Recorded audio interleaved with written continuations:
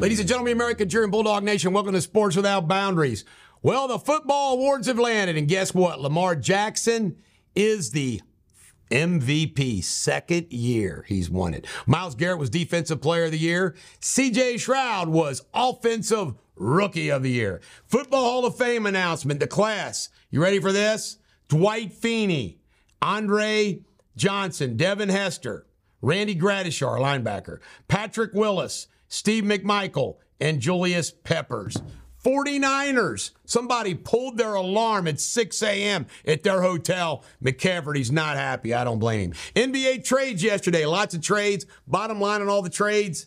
New York Knicks did themselves some some good. All right, Bo knows blackmailed, won 31 million or 21 million dollars from a nephew. I'm sure he probably can't collect it. Nephew and another relative for trying to blackmail him. Mike Zimmer formerly of the Bengals, formerly of the Vikings, lives out here in Independence, is the new defensive coordinator for the Dallas Cowboys. Yeehaw! I love this pick. That's where he started. Kobe Bryant statue, 10 foot tall. Bronze revealed at LA Lakers Stadium. Brittany Mahomes posed for Sports Illustrated. I got a comment about this. I do not get this. And you got Patrick saying, Oh, I'm really proud of her and blah, blah, blah. If you are married to someone, why in hell do you want them posing like this for the freaking world to see? I will never, ever, ever get it.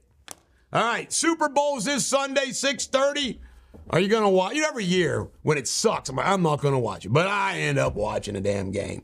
By the way, the guy who's picked the winner like 16 straight years says the 49ers are gonna win.